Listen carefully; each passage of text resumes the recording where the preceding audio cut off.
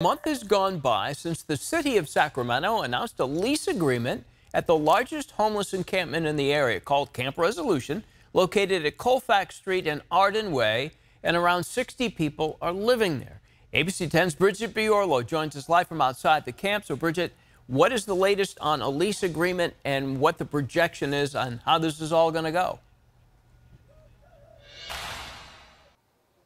Well, good morning. Well, we were just actually allowed to be inside this fenced in camp that, as you mentioned, is the largest self governed homeless encampment in the area that the city has long been at odds with homeless advocates over what to do with it. I want to show you, since we're getting this new vantage point here, there is a steel fence that keeps everyone inside. It is secure. They have to check the people that go in and out to make sure they belong here. 54 people currently call this place home. The city providing these dozens of trailers so that these people can live and have some shelter. Note, though, there is no power to the shelters or running water or something that they are working on right now through the help of some nonprofits. And recently, the city uh, entered an agreement, a lease agreement with a nonprofit called Safe Ground Sacramento. I want to bring in John here. You work with this nonprofit. You were formerly homeless. Why was it important to you to make sure that this site was a safe place for people who are experiencing homelessness?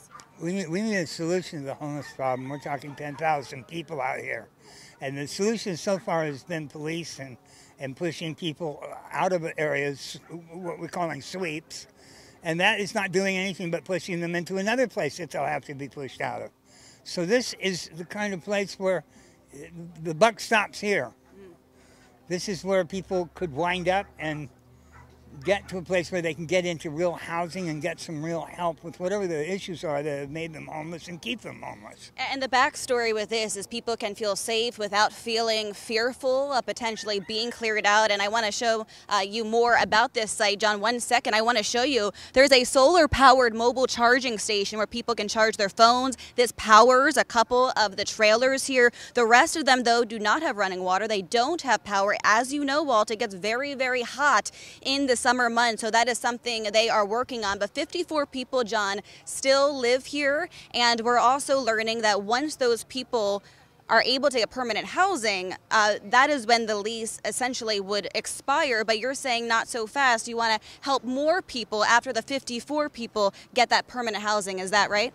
Well, I think we've got an endless flow of homeless people at this point. It seems overwhelming.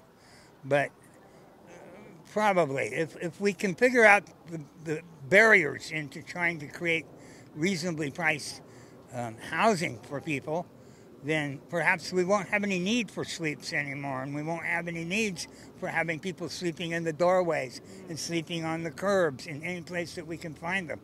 I live in the downtown now, and I can barely walk down the street without running into to somebody who's sleeping there yeah, I, noteworthy, a lot of the people that were living on city sidewalks have come here because they feel safer here. They feel that they can rest easy, uh, have a place to sleep at night. John, thank you for what you're doing and thanks for taking the time to speak with us. Really appreciate it. Sure. And, John, and Walt, as you heard it here, uh, this is a camp resolution. We showed you a lot of images from the outside. Now we're inside, so you see how it operates. But as you know, uh, water is definitely a struggle getting that water. We have some volunteers who provide some bottled water so people stay cool, but they do have a long way to go in making sure that everyone stays cool in the hot summer heat, Walt. Yeah, that sun is beating down in the parking lot. Um, so you mentioned off the top, Bridget, that these this camp uh, camp is going to be self-governed. Who's in charge of law and order at a place like this?